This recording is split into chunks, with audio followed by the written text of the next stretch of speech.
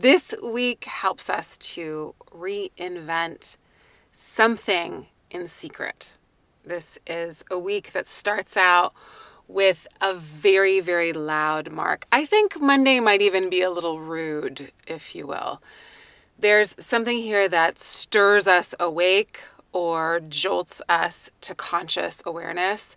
And again, it's also a renewal. There's also a new beginning attached to it and an emerging kind of quality to the beginning of the week. And then as we move through the week, there is something that also gets reset. And it is about understanding the nature of our power and what we want to do with it.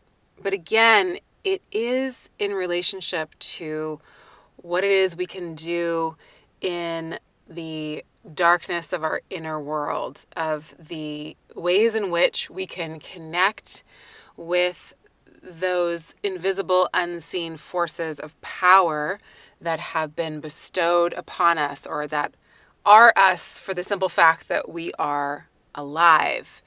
And this week asks us to be really bold about what it is we want to do and how it is we want to direct that power towards a new beginning, towards an awakening, and towards something that is a little idealistic in nature, but rooted deeply in realism. Hey, y'all, if you're looking for intel on 2024, check out your 2024 guidebook. This 100 plus page digital resource examines the year's astrological moments in detail and provides sign specific activities to support you through every twist and turn. You can order yours at chani.com. It is an invaluable resource for the year. Hello and welcome. This is the Astrology of the Week Ahead podcast. I'm your host, Chani Nicholas, and we are talking about the week of November 13th that starts out with a new moon on Monday morning, the 13th. So the world over is having a new moon in Scorpio, but you might also want to think about working with it Sunday night into Monday, depending on your time zone. Look, new moons in Scorpio are always a moment of intense rebirth and intense seeding of new potential because Scorpio doesn't do anything lightly. It does it deeply, it does it in secret, and it does it with, yes, intensity. So, this new week, the new moon, the new beginning that we're going through is a portal. And it's not going to be full of ease, although there is some present this week. But it does feel like there's something here that's really in our face, but also something that could quite possibly feel more internal. You know, sometimes when those things come up within us and we're like, whoa, how did I not see this, know this before? Uh, so it's internal, but it's still quite loud within us. It might be external as well, but it does feel like, however, it will land in the world, I think it's going to have something to do with secrets and what is revealed and what has been hidden and what is now coming to light, what's breaking ground in a way. And we can think of a new moon as that, anyways, because new moons are a time of of metaphorically like planting a seed in the earth. So we don't see anything, there's darkness, the seed goes into darkness, there's no evidence of life yet. We have to just plant something with some faith and with action to tend to it and to water it. And the seed that we're planting now is connected to something that feels quite rebellious or revolutionary or awakening or doing something differently.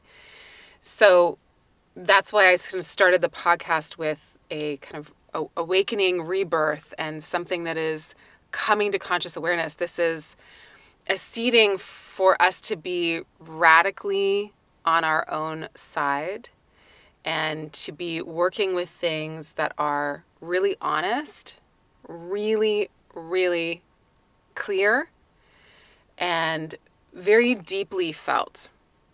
And what it leads to it's really interesting. So the sun and the moon come together in Scorpio on Monday, and they're sitting right across from Uranus. And that's why it feels like there's a disturbing quality to this moment, to this this new potential that's happening.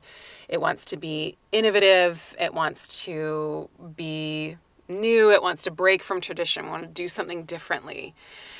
And then later on in the week, on Friday the 17th, the sun and Mars come together, which is like a new moon. So there's like two new beginnings, or we could think of this whole week as a week filled with new beginnings and potential for planting our intentions and saying, This is how I want to start. And the intentions are something that is connected to, again, radical awakenings or reinvention because of the opposition to Uranus, which Mars had just last Saturday on the 11th of November. So that's still permeating the air. But then what happens is everything goes, everything is opposing Uranus, the sun, the moon, and Mars. And then it goes on to trine Neptune. And what that means, without any of the astrology, is there's something that's kind of rude, awakening, loud, a little bit in our face, or definitely wanting to get our attention because change is needed.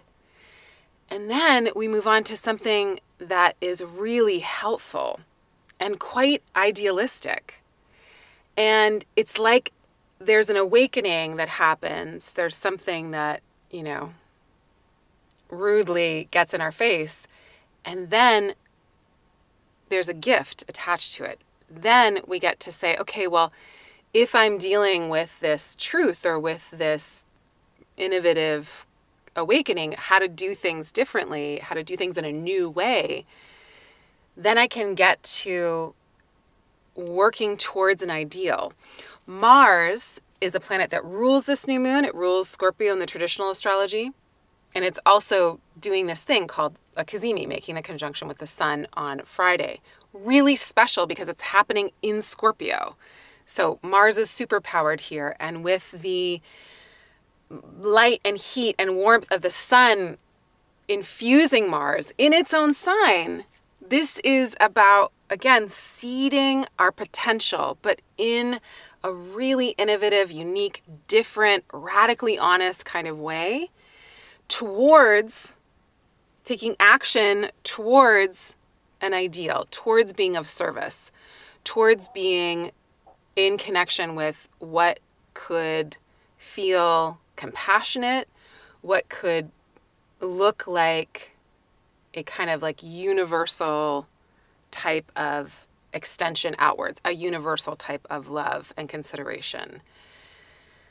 So it's really wild astrology. Again, I think the beginning of the week might be a little rough and ready, but I think the weekend already has been. I'm filming this in in September, in October. I'm filming this in October, so I have no idea what's going on in this part of the year. I'm just projecting my ideas onto what the astrology is doing. And in between those two things, the new moon on Monday and the Mars Cazimi on Friday, there's a Mercury sextile Venus that happens on Wednesday.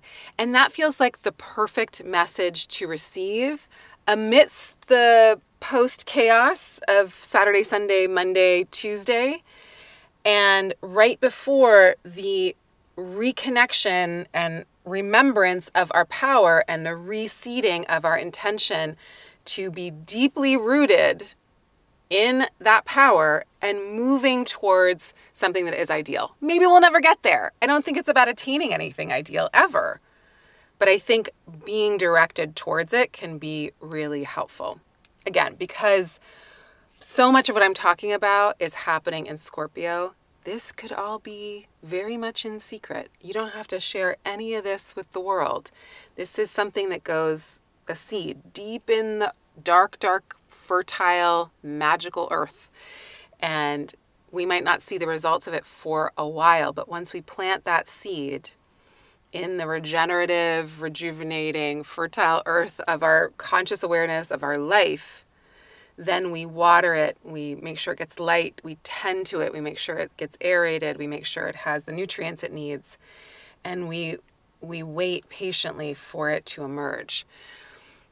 And when life starts to spring from it, we say, ah, yes, I started this back in November. So I want you to, if you have the Chani Astro Planner of 2023, you can note the little ritual that we put in it. We've also got ones that are for 2024. So if you want to make sure that you're following along with the astrology in an actual physical book because you like to write things in it, then we have those in our shop right now. But if you have the app, we also have a ritual for this new moon slash Cazimi. And whatever you do, I just want you to meditate on your power and your agency. What you do have access to, and how you want to consciously direct it, how you want to heal your relationship with it, and how you want to work with this tool in the world, in your life, and how transformative that can be. And just one more kind of concept to give you.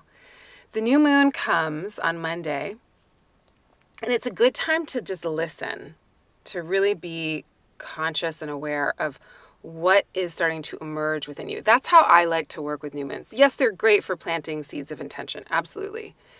And sometimes that intention is really well used if it's like, I'm going to listen to my life because the new moon is darkness, the new moon is nothingness, the new moon is a clean slate.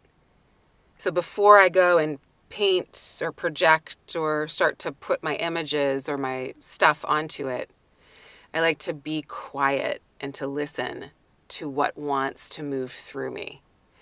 And so the new moon, the beginning of the week, is really good to listen to, again, the things that are awakening within us, the freedom that we want.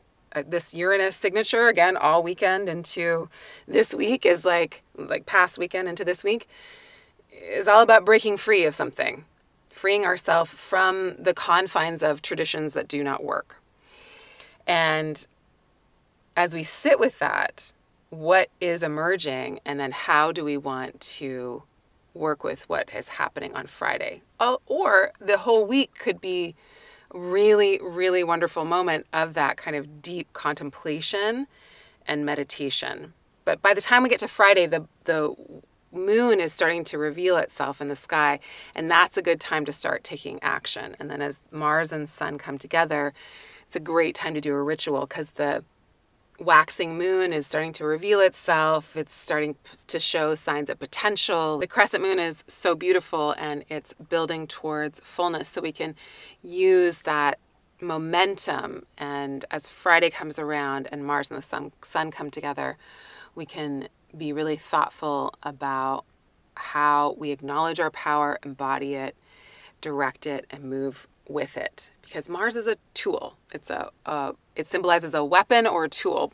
They're the same thing, double-edged sword, literally. And so Mars is like, how do you want to use this power that you've got? When we are unconscious of our power, we do damage. A million sages and teachers have said that before me I think it's one of the truest statements we can live by. I live by it. When I am unconscious of my power, I do damage.